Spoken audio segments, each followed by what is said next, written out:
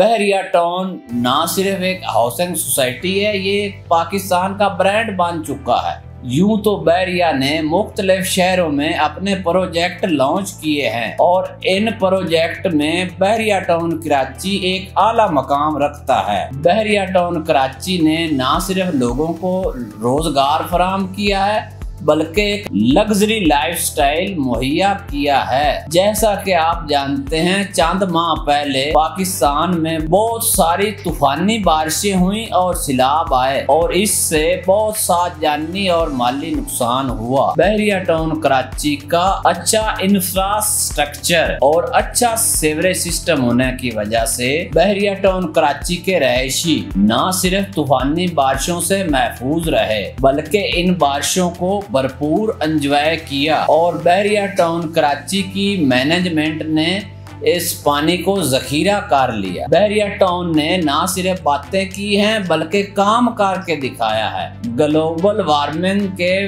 मनफी असरात होने की वजह से और इस लग्जरी लाइफस्टाइल में रहश अख्तियार करने के लिए स्क्रीन पर दिए गए नंबर पर रबता करें। शुक्रिया, अल्लाह हाफिज।